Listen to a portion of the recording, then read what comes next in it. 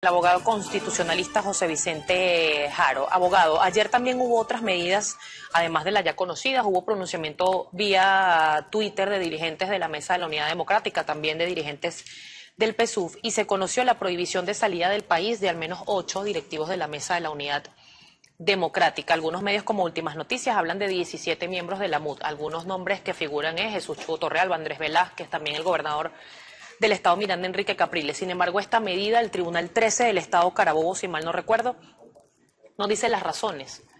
¿Basándose en qué se le puede prohibir a estos dirigentes que salgan del país?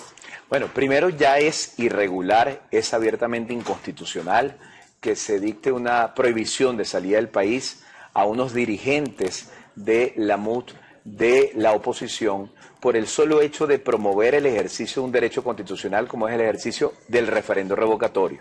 Si la medida se está tomando por las supuestas firmas que se han calificado como fraudulentas, peor aún, porque esas firmas supuestamente fraudulentas, la misma MUT, el mismo PSV, con los técnicos del CNE acordaron descartarlas, no tomarlas en cuenta los efectos del 1%.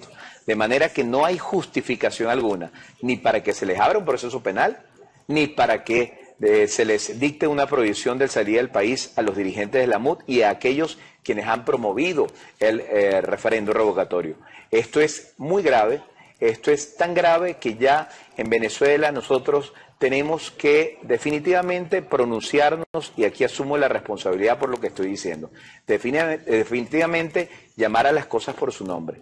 En Venezuela este tipo de medidas, como la que han dictado los tribunales eh, de cinco estados ayer de carácter penal actuando fuera de su competencia, eh, medidas como la que dictó el CNE impidiendo el pronunciamiento de los venezolanos, medidas como las que se está dictando contra los dirigentes de la oposición, bueno, nos hablan de que en Venezuela no hay respeto de la Constitución de que en Venezuela no hay división de poderes, de que en Venezuela no hay respeto de los derechos humanos, de que en Venezuela no se está valorando y respetando el derecho al voto porque no se le respeta el derecho al voto a quienes votaron el 6 de diciembre por una Asamblea Nacional a la que se le han arrebatado todas sus competencias a través de decisiones judiciales.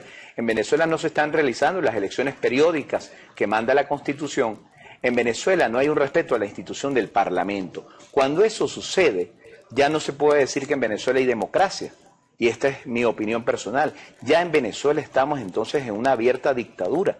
¿Por qué? Porque todas estas condiciones y requisitos que he señalado, todas estas situaciones que se han presentado, son situaciones que no se corresponden con un sistema democrático, se corresponden con un sistema que se califica en ciencia política, en derecho constitucional, como un sistema ya de dictadura.